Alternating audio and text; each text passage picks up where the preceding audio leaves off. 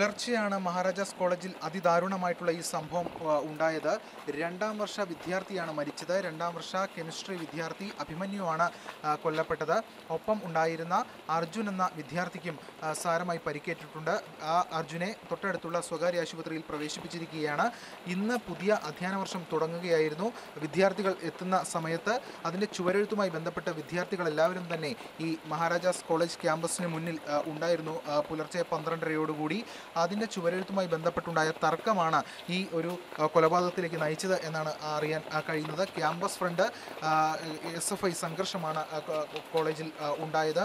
ഈ ഈ സ്ഥലത്ത് വെച്ചാണ് ഈ പ്രശ്നം ഉണ്ടാകുന്നത്. തുടർന്ന് ഈ ചിതറിയോടുകയായിരുന്നു വിദ്യാർത്ഥികൾ. എന്തായാലും ആ വിദ്യാർത്ഥികൾ ചുവരെഴുതാൻ കൊണ്ടുവന്നിട്ടുള്ള എല്ലാ വസ്തുക്കളും ഇവിടെ തന്നെ ഉണ്ട്. എന്തായാലും സംഭവത്തിൽ മൂന്ന് പേരെ പോലീസ് സംഘം കസ്റ്റഡിയിൽ എടുത്തിട്ടുണ്ട്.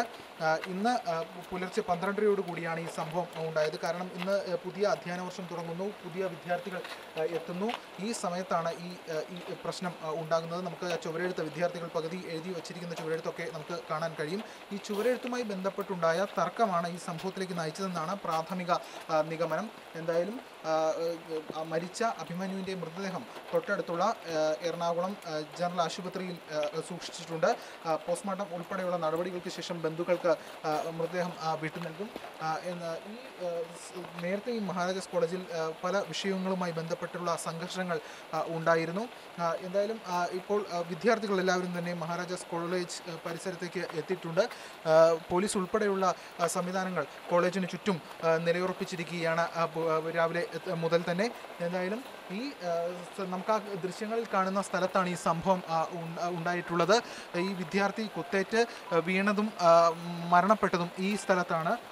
എന്തായാലും ആ ദൃശ്യങ്ങളാണ് ഇപ്പോൾ നമുക്ക് കാണാൻ കഴിയുന്നത്.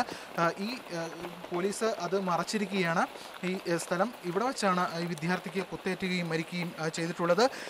നെഞ്ചിലാണ് ആഴത്തിൽ കുത്തേറ്റത്. അതുകൊണ്ട് തന്നെ രക്തം വാർന്ന് തൽക്ഷണം തന്നെ മരണപ്പെടുകയായിരുന്നു.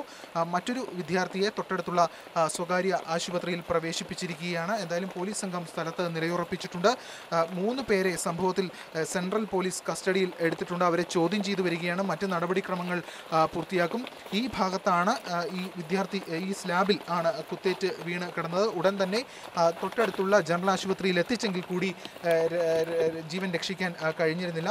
മറ്റൊരു വിദ്യാർത്ഥിയെ തൊട്ടടുത്ത് തന്നെയുള്ള സ്വകാര്യ ആശുപത്രിയിൽ പ്രവേശിപ്പിച്ചിട്ടുണ്ട്. ആ വിദ്യാർത്ഥിയുടെ നിലയും അല്പം ഗുരുതരമാണെന്നാണ് നമുക്കിപ്പോൾ അറിയാൻ സാധിക്കുന്നത്.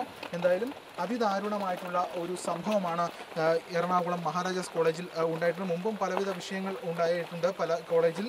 എന്തായാലും ഇപ്പോൾ ഒരു ജീവൻ നഷ്ടപ്പെടുന്ന രീതിയിലേക്ക് കാര്യങ്ങൾ എത്തിയിരിക്കുകയാണ്.